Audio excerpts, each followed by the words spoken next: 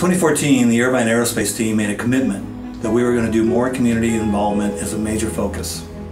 Our United Way campaign kicked off in October and we are proud to say we had a significant amount of participation from our employees who believe in the value of giving back to our local communities. Through fundraising and volunteer events, our employees made an impact that directly benefited the Orange County area. We'd like to share with you some highlights from our 2014 campaign.